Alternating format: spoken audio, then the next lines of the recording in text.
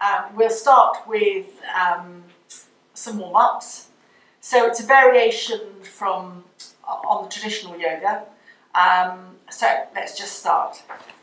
Inhaling, hands up, reverse, and then just gently go from side to centre to side and back to centre. Breathing out, turn to one side. Breathing in, come to the centre. And breathing out, turn to the other side. Come to the centre. Press your feet down, press the palms of the hands up, and look up only if that's good for your neck. So you come into a very slight back bend. Bring your head back to centre. Lower your hands to shoulder height Turn to look beyond the fingers of one hand. Bring your head back to the centre and turn to look beyond the fingers of the other hand. Come back to the centre. Bring your hands, palms together in front of the heart and press them against each other. This is very good for under the arms. Um, so um, just a press, lower your hands to the waist, and then Lift your heels as a balance, encouraging the left as I go instantly wrong, the left and the right side of the brains to coordinate with one another. And then lower your heels back down to the ground and engage your abdominal muscles by bending your knees. Bottom goes away from you. Look along the ground and you should feel your abdominal muscles engage slightly. Press your feet down as you roll up to standing again raising your hands, stretch your fingers, and then breathing out as you bend your knees, sliding your hands down to your shins. Press your hands into your shins, lengthen from the tailbone to the top of the head. Breathe out, bend your knees, widen your elbows. Breathe in, press your hands into your shins as you lengthen along your spine once more.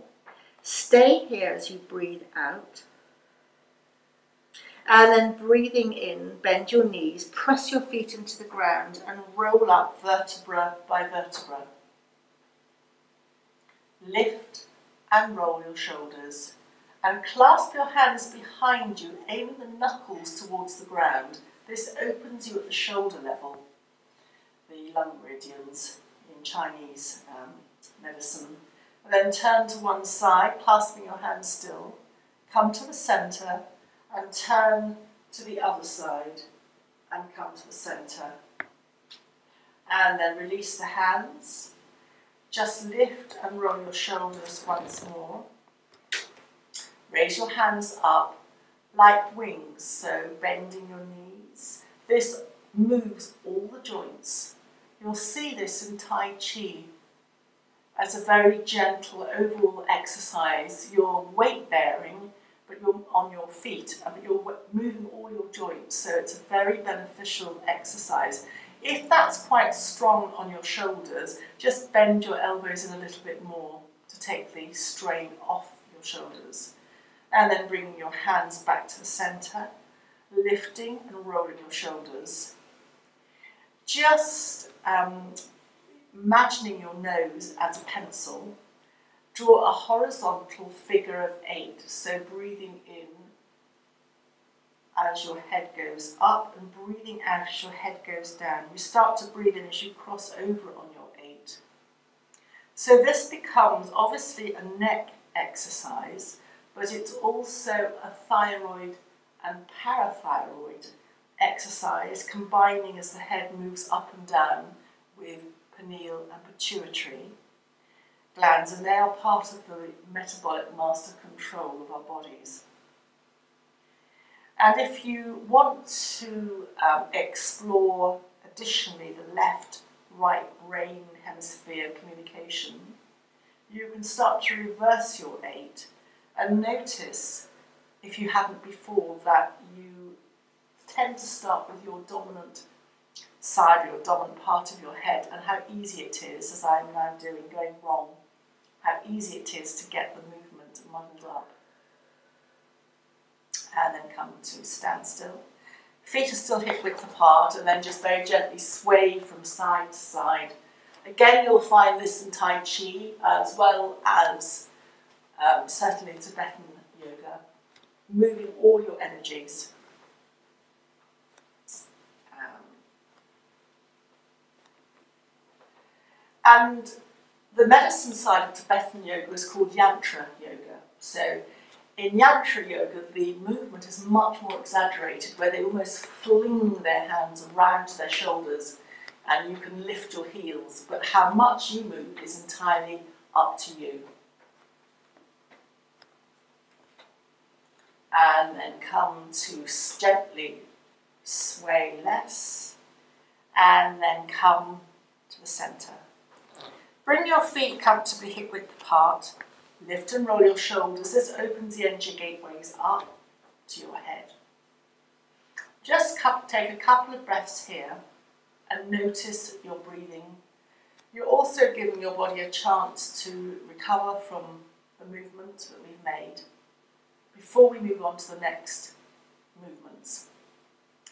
So pressing your feet into the ground, breathing in, raise your arms up, stretch your fingers, either looking ahead or looking up. Breathing out, lower your hands.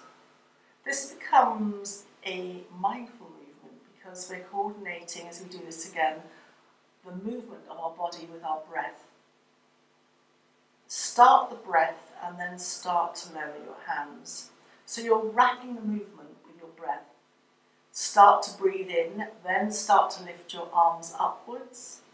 Hold the breath and then start to breathe out as you lower your hands back down alongside you. And again, if you open your fingers, you can feel the air between the fingers. So this connects into the heart energy and the sense of touch and the element of air. And then inhaling up, stretch up, press your feet into the ground, and then breathing out, lower your hands back down to the side. So this next movement is uh, asymmetrical, which means that we work on one side at a time. So I'm going to have my left hand behind my waist, palm turned upwards. Breathing in, I'm going to raise my right arm up, stretching up, and the choice is to look ahead or look up. Breathing out, bend your knees as you lower your hands to the ground, but if that's too much, then lower them where you can, perhaps your shin. Press your feet down as you come up, stretching up, looking either ahead or up. Stretch your fingers, breathing out, lower to where it's appropriate for you. Breathing in, stand up. Breathing out, Press your feet down as you raise up. This simple exercise ticks a lot of boxes, including cleaning our energies, our aura. So it disconnects us from the stresses and strains and vibrations of the outside world. And you'll find variations of this movement in Kundalini Yoga.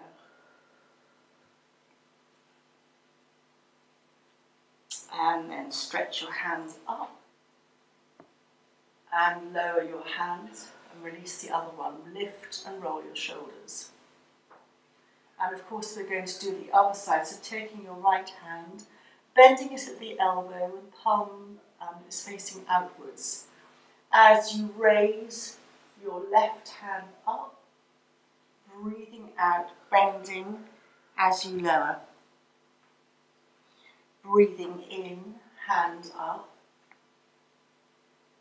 Breathing out, lower. Breathing in, hands up.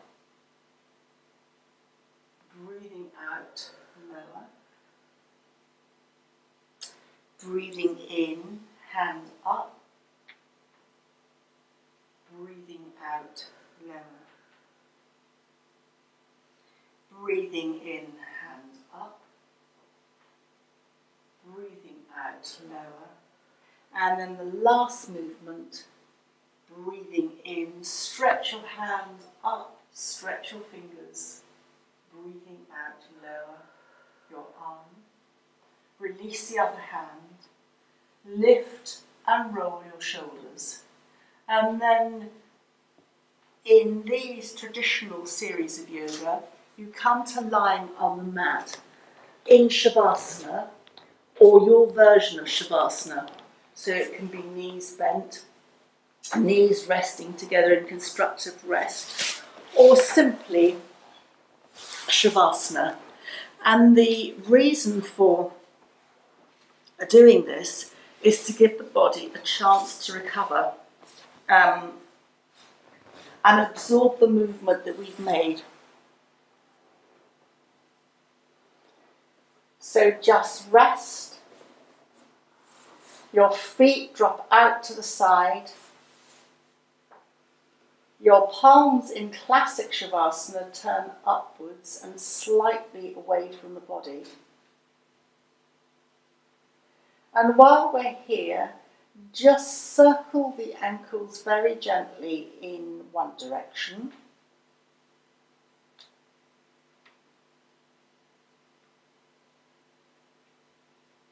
And then very gently circle the ankles in the other direction.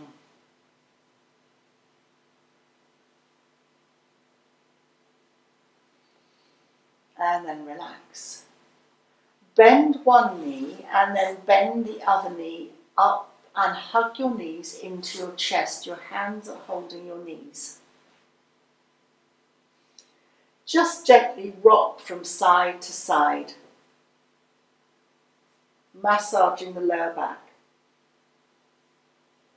And now, as you breathe in, extend the feet upwards and the hands go up and behind you you extend your heels and the backs of the hands can touch the ground. You can bend your elbows if this is easier for you. Breathing out, hug your knees back into your chest. Breathing in again, heels up to the ceiling, hands up and behind you, extend your heels. Chin comes into the chest, Breathing out, hug your knees into your chest. Breathing in, again, heels up. Feel the stretch along the back of the legs, hands behind. Breathing out, hug your knees into your chest. And breathing in again, heels up. Extend, hands behind you.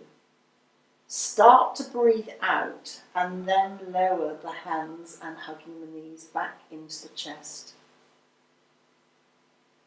Again, stretching up and breathing out. Hug the knees into the chest and once more just rock very gently from side to side.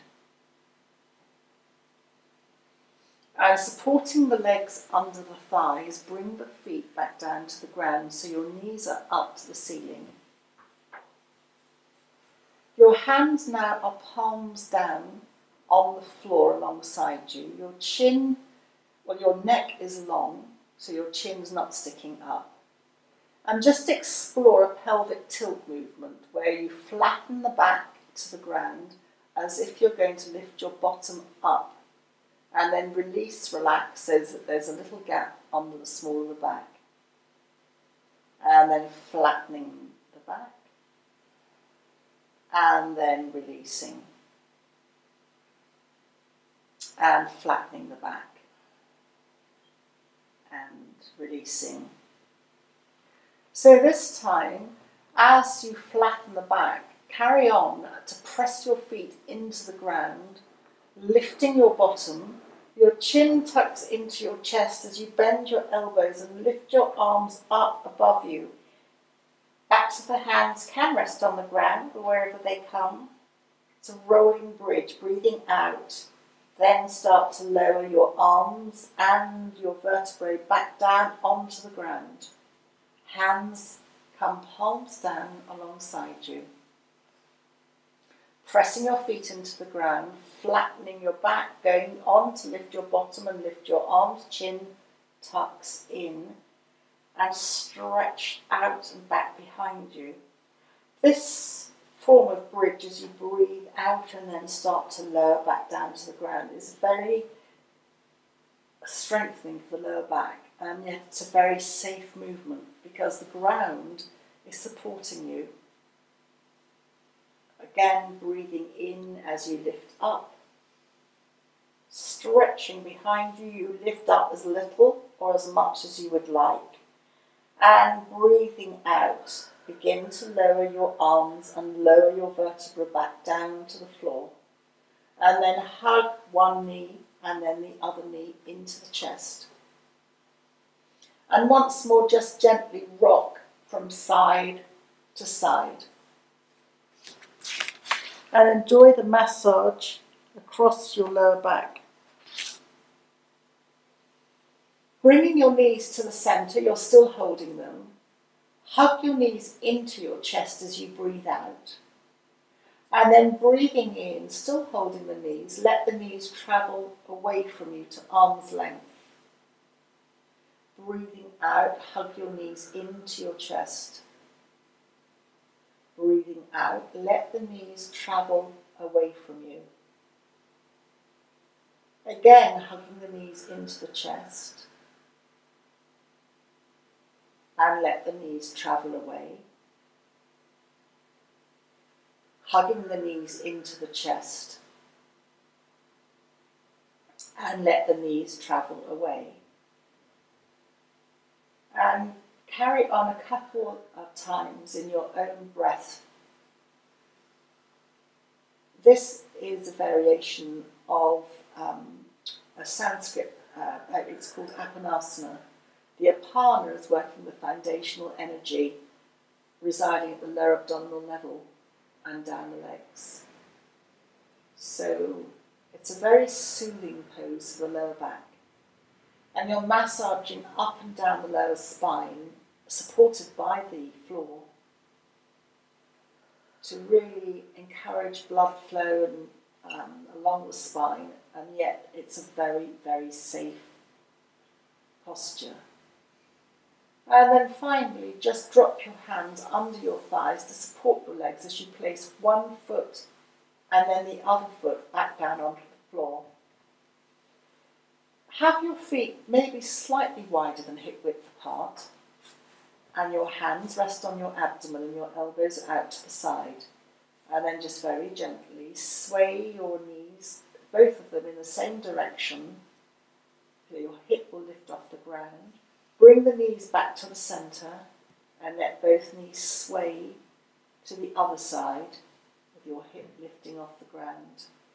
And your hands will just glide over your abdomen around the navel area, giving you a very soft massage across your your navel area. All the way around the navel, there are many acupressure or energetic points linking to all the um, organs of the body, so it becomes a very um, soothing movement.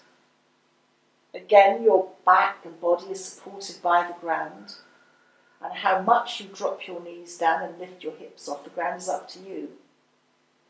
As you sway from side to side, the knees can go right to the ground, or if you're practicing at home, you can have a bolster under either side just to support your knees and thighs as it comes down. But then come back to knees being central. Move your feet in if they were slightly wider than hip width apart. And enjoy just the breath in and out. Before we come to sitting upright, either by rolling up or rolling to the side, taking the time so that we're not disturbing the energy that has been created in the movements that we've made but then come very gently to roll up and then come to kneeling on your knees and then come to kneeling up. You can always roll your mat or take a blanket or jumper, something to support you under the knees if that's helpful. Have your knees again comfortably hip width apart as you kneel up. Breathing in, raise your arms up, stretch your fingers, thumbs go behind you, little fingers in front, either looking ahead or if that's good for your neck, look up, but choose which is more comfortable for you. And then breathing out, bend. Your elbows come onto the floor, so you're almost like a little rabbit. And then slide your hands towards your knees as you slide your leg, hands up your thighs, raising your hands up, stretch your fingers, breathing out, bend your elbows, sliding your hands down, sliding your hands along the floor so that your elbows come onto the floor. Slide your hands back as you breathe in and kneel up. Stretching your arms out and up. Breathing out. Bend your elbows, sliding your hands out, elbows onto the floor. Slide your hands back Slide your hands up your thighs if you need support. Raising your hands up. And then breathing out. Bending, sliding your hands along the floor to support you coming forward. Just feel the stretch at the lower back area, the lumbar area. And then last time as we slide our hands up, stretching up as you breathe in you're stretching under your lymph flows, your energetic pathways, stretching, giving space for all the abdominal organs. And last time as we breathe out, sliding the hands along so that the elbows can rest on the ground. And just take an in and an out breath here. Bottom is slightly up in the air. You can come further down with your bottom towards your heels. This will be more of a strain on your knees. So just choose what's comfortable for you. And then pressing your hands down, moving your bottom to the side and coming to a seated position. If you can come cross-legged, that's ideal in Sukhasana. If not, then come to being comfortable with your legs. And we're going to um, just finish with a breathwork exercise. So taking your right hand blocking your right nostril with your thumb. You can be very classic about it and have your second or third finger up or just tucked in and your fourth finger out, but I'm not going to be very fussy about that, just blocking your right nostril. So just for a few breaths, you're only breathing in, through, in and out through your left nostril. It's a preparation practice for a breathing exercise called Nadi Shodhana, or alternate nostril breath. So it's very balancing for the left and the right sides of both the body and the mind. And it's one of the breaths that's universally uh, uh, beneficial for anybody people who are ill, someone who's not ill, um, wherever stage you're at, it's very beneficial. If your nose is blocked because you've got a cold or you've got an allergy, you can just loosen the thumb against the right nostril so that it's not quite so closed off. And as you breathe in and out, just notice the left side and then just a couple more breaths. If your right elbow is um, strained because you're holding your elbow up, then please do lower your elbow. And then just release your right hand. Just take a couple of breaths through both nostrils and notice the difference. and then, when you're ready, take the same right hand and this time block your left nostril with your ring finger, your fourth finger.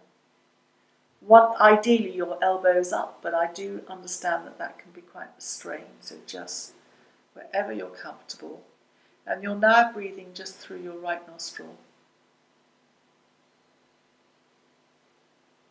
So the left side of the body is um, the passive side, connecting both to um, certainly passive emotions, calm, what's called the yin side. And the right side of the body, if you think the energy meridians run through the liver and the gallbladder. So in um, Chinese medicine, they're very traditionally associated with rising energy, anger. So this is balancing that side. It's the yang side. And then very gently drop your hand back down. Breathe again through both nostrils, breathing in and breathing out. And then very gently open your arms, stretch your fingers, bring your hands to your heart center. Take a bow for yourself for the day ahead. We've worked both our bodies and cleared our minds throughout all our energy centers in this very traditional yoga practice and thank you very much.